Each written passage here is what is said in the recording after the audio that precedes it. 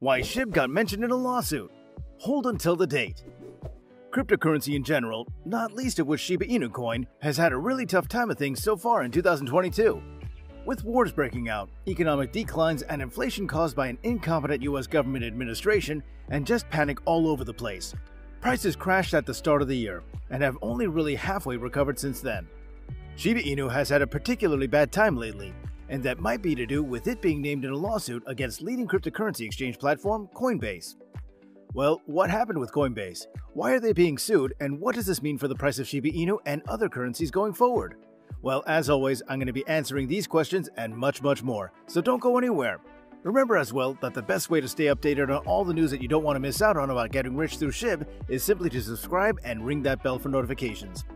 Now, please do keep in mind that I'm not a professional financial advisor and that there's always going to be a risk whenever you invest in cryptocurrency or anything else for that matter, and that you should always be vigilant and do your own research. After all, it is your own money.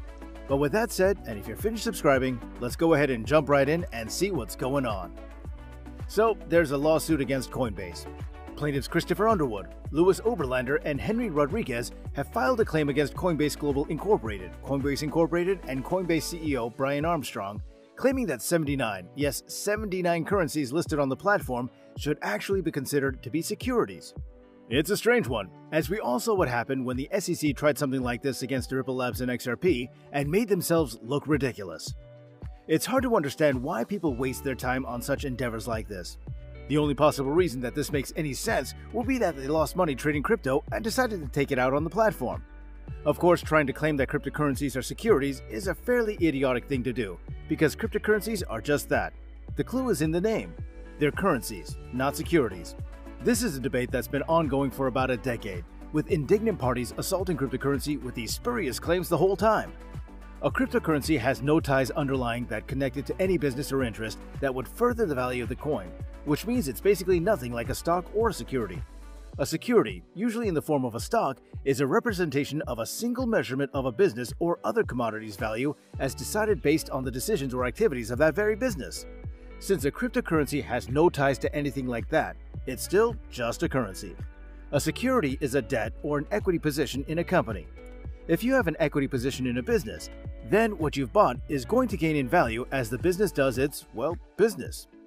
One of the problems for Shiba Inu coin when it comes to this discussion is the existence of several gray areas when you consider the existence of the canine currency, since there are many parties with vested interests in seeing it do better and better. But the thing to remember here is the fact that there was no profit made simply by launching the coin. It was put out to be a currency, just like any other cryptocurrency. It cannot possibly be a security, as it's tied to nothing besides its own silly, jokey nature. However, it is a cryptocurrency that has been listed among the 79 that are being accused of being securities. The fact that only 79 have been listed is the first big obvious red flag that makes this lawsuit look kind of ridiculous. Because if 79 cryptocurrencies are actually securities, which they're not, then surely all cryptocurrencies are securities, which they are not. Of course, there are things that are tied to cryptocurrencies that could be considered fairly gray areas, like NFTs and projects associated with the doggy dollar, but nothing that could make you think that SHIB itself is a security. Nope, it is a currency. This class action lawsuit by Christopher Underwood, Louis Oberlander, and Henry Rodriguez represents an attempt to recoup damages if we're to assume that the 79 currencies are in fact securities that have not gone through the proper process. Again, they were not securities, they are currencies, and this is totally ridiculous. When there is no underlying business, they can't be securities.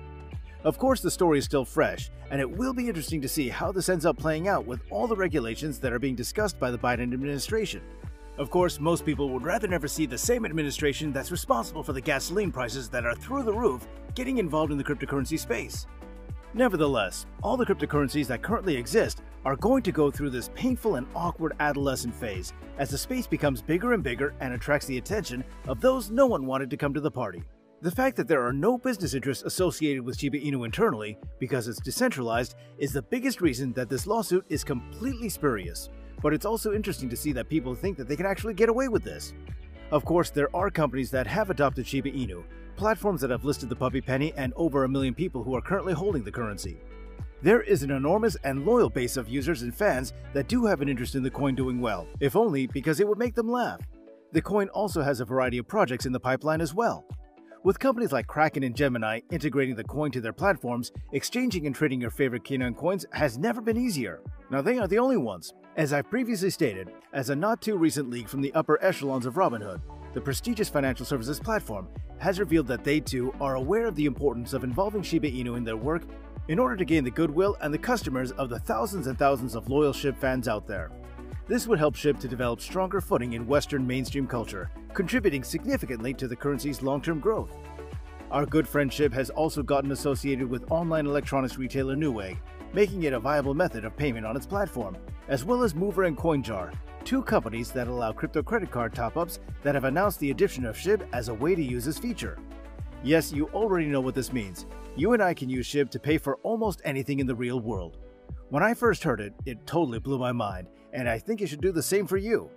Now, it's also pretty obvious that the SHIB creators aren't slacking off either, with huge projects in the works such as the Oshiverse, a game that they're working on with Playside Games and renowned game developer Mr. William Volk. This is a game about using Shiboshis, one-of-a-kind non-fungible tokens that will contribute to a currency burn if users pay a $100 SHIB fee to name their Shiboshis. The problem is that SHIB has its major hurdle, which it has to overcome, which I've discussed extensively in prior videos on this channel, but I'm going to reiterate right now. The primary impediment to SHIB's growth is its own supply. It presently has over 540 trillion tokens available, which is so many that it prevents demand from increasing. The difficulty is that the coin's price can't reach any meaningful milestones without crashing the economy of a few countries, making it impossible for the price to really rise. To address this, a number of projects have formed with the goal of burning SHIB tokens and permanently removing them from the market. This is critical in order for the price of other tokens to rise, and the good news is that these initiatives are well underway.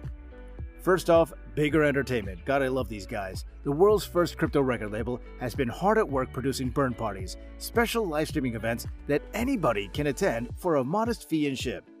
That SHIB is subsequently transmitted to a burn wallet, where it will be permanently removed, so far, the celebrations have been a huge success, resulting in the burning of hundreds of millions of SHIB. However, there's still much more work to be done. It's a terrific approach to help with the supply issue, and it's instilling new hope in Shiba Inu, which has risen from being the world's hottest meme coin to the 15th largest cryptocurrency worldwide, with a market valuation not too far below Dogecoin. With all of these elements in place, it appears like Shiba Inu is well on its way to climbing even higher up the ranks, with its tokens commanding ever-increasing prices. Burn projects are also assisting and will start seeing the results shortly. Of course, if this lawsuit becomes much more of a problem, then it will really contribute to a lot of currency suffering. However, it likely won't, because it's a very strange set of things to be complaining about in the first place. Why are these 79 cryptocurrencies suddenly securities? Why include Shiba Inu coin but not Dogecoin, the coin from which SHIB was first derived? The only slightly concerning thing is the fact that this case hasn't already been dismissed as completely ridiculous. Perhaps there's a lawyer out there who badly needs to keep the payments up on his Lamborghini by selling some billable hours for nonsense suits that have next to no chance of winning because they're based on spurious nonsense. No matter what happens with Coinbase and the other 78 cryptocurrencies, Shiba Inu is indeed a currency, not a security, and that much is extremely obvious. But what do you think? Let me know in the comment section below, and remember that your best chance for staying on top of this, as well as any other developments, is simply to subscribe to this channel and ring that bell for notifications, so you'll never miss out on some hot tips that could possibly make you some cash. Thanks very much for watching, and I'll see you next time.